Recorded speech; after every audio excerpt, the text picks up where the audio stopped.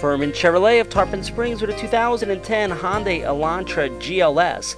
This vehicle has a 2-liter inline-four and an automatic transmission.